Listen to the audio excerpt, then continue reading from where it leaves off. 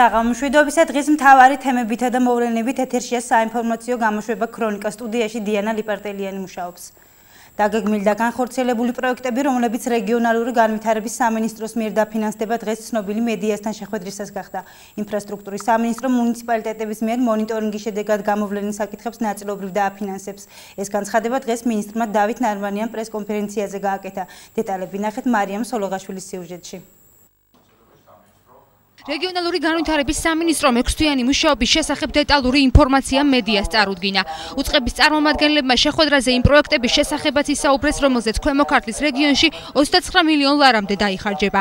რუსთავში შიდა გზების სარეაბილიტაციო და სახურავების გადახურვითი სამუშაოები უახლოეს რამდენიმე კვირაში ადგილობრივი თვითმმართველობის მიერ ტენდერის მეშვეობით განხორციელდება. მუნიციპალიტეტებში განსახორციელებელი სამუშაოებიც სწორედ ამ პრინციპით დაიწყება. როგორც კი მუნიციპალიტეტები ტენდერებს გამოაცხადებენ და და დააკონტრაქტებენ მაშინვე შეიძლება რომ დაიწყოს სამუშაოები ეს მუნიციპალიტეტების მიხედვით განსხვავებული იქნება. ის ვინც უფრო სწრაფად ამზადებს შესაბამის დოკუმენტაციას ისინი უფრო სწრაფად შეძლებენ სამუშაოების დაწყებას დღევანდელ პრესკონფერენციაზე ცნობილი გახდა თუ როდის დაიწყება რუსთავი-თბილისის ავტობანის მშენებლობა და რატომ ვერ მოხდა რეგიონებში განსახორციელებელი პროექტების ნუსხაში რუსთავში არსებული ავარიული ბინები. მინისტრის განმარტებით ავარიული ბინების გამაგრებითი სამუშაოები მიუხედავად იმისა, რომ საბინაო ინფრასტრუქტურის მოწყობა აღნიშნული სამინისტროს ბაზაზეა, ამ ეტაპზე ვერ ხერხდება. აქ არ არის რუსთავში ამოტიზებული ბინების რეაბილიტაციაზე საუბარი, თუმცა მე როგორც ვიცი ადგილობრივი თვითმმართველობისგან, როდესაც ქვენციები გადმოგეცათ, იქ იყო შესული ასეთი ბინებიც.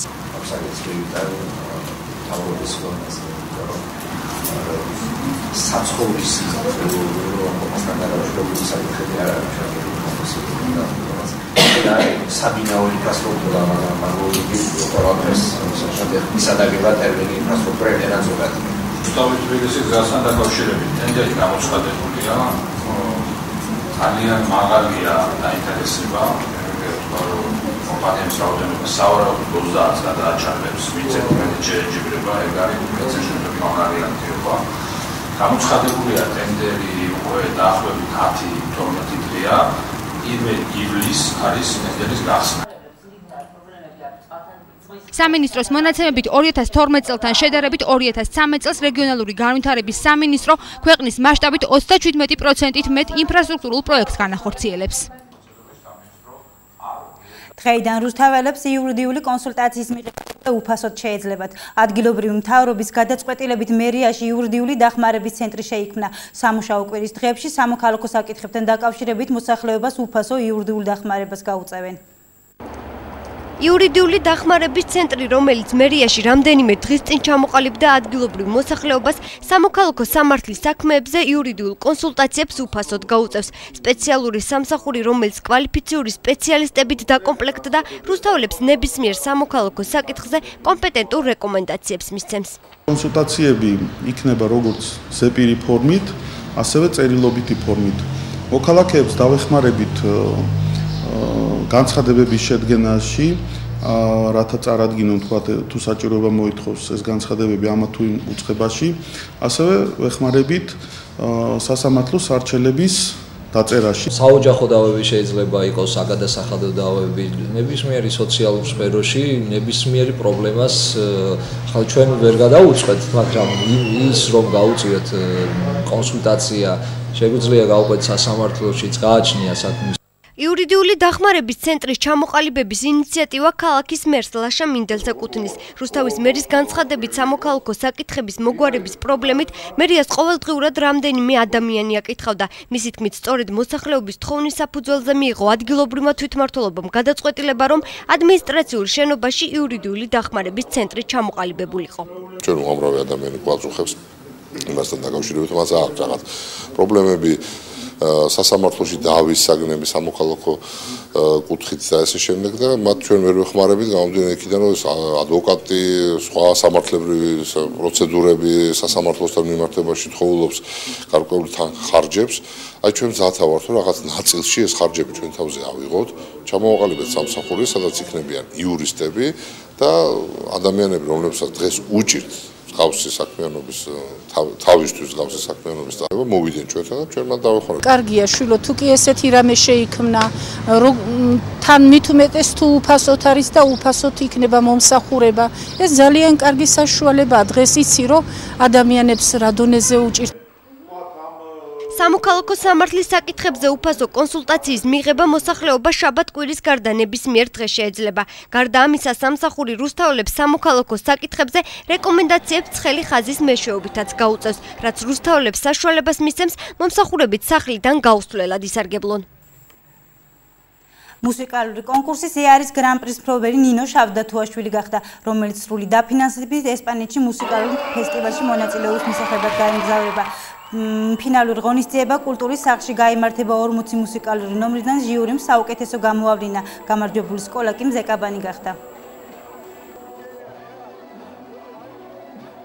ფიქრობ რომ კონკურენცია დიდი იქნება, აქედან გამომდინარე, მაყურებელიც ისიამოვნებს ჩვენი მომზადებული ნომრები. წარმატებას უსურებ ყველას. ცეკვა ელექტრო ტექტონიკი და დაბსტეპი. ნომერი არის ცეკვა ნიჭიერში გამოდიოდა. შეზღუდული შესაძლებლობის მქონე პირებმა რუსთავში ჰეიდარ ალიევის პარკი დაათვალიერეს. 26-ე საჯარო სკოლის მოსწავლეებმა პროექტის სამოქალაქო განათლებისა და პედაგოგთა გადამზადების პროგრამის ფარგლებში მოამზადეს. ახალგაზრდების შეზღუდული შესაძლებლობის მქონე პირებისათვის ქალაქში შესაბამისი ინფრასტრუქტურისა და მათთვის გასართობი ადგილების მოწყობის ინიციატივითაც გამოვიდნენ მსგავსი აქციები რომ მომავალშიც აქტიურად გაგრძელდება ჩვენი გულისკივილი არის ძირითადად რომ შეზღუდული შესაძლებლობის ბავშვებისთვის არაფერი ღონისძიება არ არის სკოლაში. არ არის ინფრასტრუქტურა. ძალიან ბევრი სურვილი, დიდი სურვილი ქონდა რომ რაღაცა გაგვეკეთებინა, გამოგვიყანდა ერთი პატარა დღე გვეჩუქებინა. კინოთეატრ რუსთაველთან რეჟისორ რეზო ჩხეიძის ვარსკვლავი გაიხსნა. ცერემონია საქართველოს პრემიერ-მინისტრი ბიძინა ივანიშვილი და სრულიად საქართველოს კათოლიკოს პატრიარქი უწმინდესი და უნეტარესი ილია მეორე დაესწრნენ. როგორც პრემიერ-მინისტრმა აღნიშნა, ის დიდება რაც რეზო ჩხეიძემ საქართველოს მოუტანა გმირობის ტოლფასია.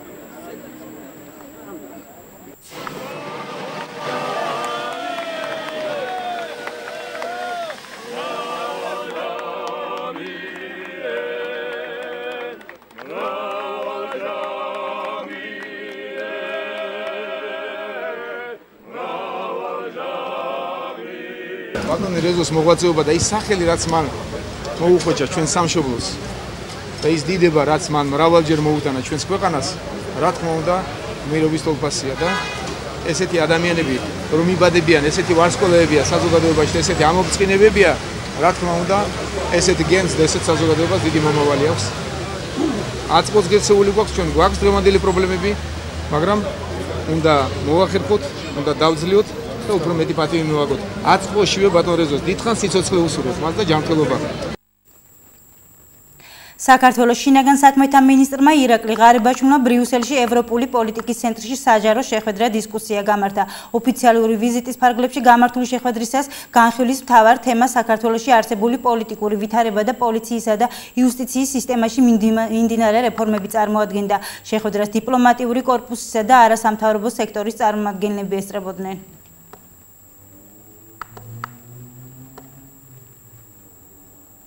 რუსთავის არაგბო ბაზაზე შეიარაღებული ძალების ჩემპიონატი მიმდინარეობს. ჩემპიონატში თავდაცვის სამინისტროს სხვადასხვა ქვედანაყოფებისა და ბრიგადების გუნდები მონაწილეობენ, რომლებიც სპეციალურ მოსამზადებელ პერიოდს გადიან. ტურნირი რაგბის კავშირსა და თავდაცვის სამინისტროს ერთობლივი ინიციატივითა და ორგანიზებით ტარდება. ხვალათი საათიდან რუსთავის რაგბის სტადიონზე ფინალური მატჩები გამართება.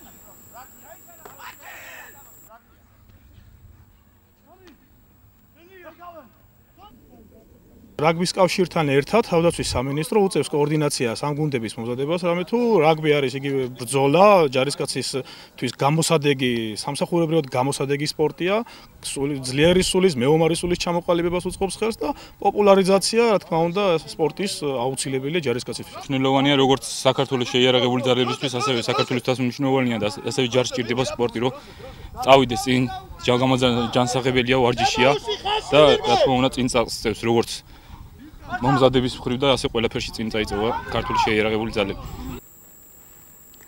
სასოფლო სამეურნეო მიწის უცხოელთა საკუთრებაში გადაცემაზე შესაძლოა მორატორიუმი გამოცხადდეს. პარლამენტში ინიცირებული პროექტის თანახმად კანონმდებლობაში ცვლილება 2017 წლის 1 იანვრამდე კანონის იმ ნაწილის მოქმედების შეჩერებას ითვალისწინებს, რომელიც უცხოელებისა და უცხო ქვეყანაში რეგისტრირებული იურიდიული პირებისათვის მიწის ნაკვეთებზე საკუთრების უფლების გადაცემას გულისხმობს.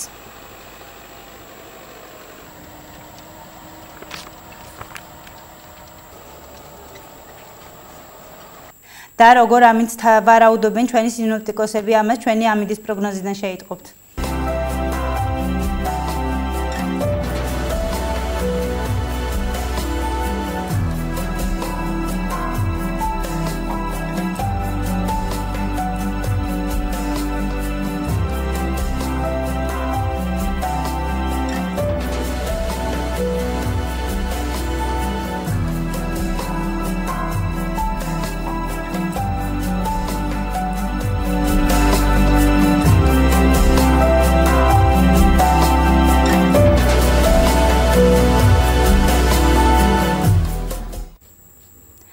სპეციალური აქცია და მომგებიანი ჩეკების გათამაშება უნივერმაღში რამდენიმე წუთის წინ დასრულდა. როგორ ჩაიარა დღევანდელმა დღემ და ვინ გახდა ყველაზე იღბლიანი ვეჯინელი? ნახეთ ჩვენ სიუჟეტში.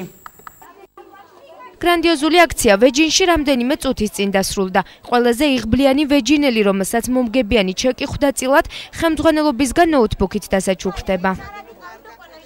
მოგესალმებით ყველას, როგორც ხედავთ, ჩემს ხელთ არსებული კონვერტი არის სრული ნორმებით დაცული და დალოქული. მე ახლა ამას თქვენს თვალწინ გავხსნი, რათა გამოვაცხადო მომგებიანი ჩეკის ნომერი და ძალიან გთხოვთ, იყავით ყურადღებით, რათა გამარჯვებულს გადავცეთ ნოუთბუქი არაჩვეულებრივი Asus-ის ფირმის მომგებიანი ჩეკი